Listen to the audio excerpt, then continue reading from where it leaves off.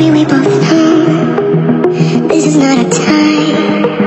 It's time to say goodbye until we meet again. Cause this is not the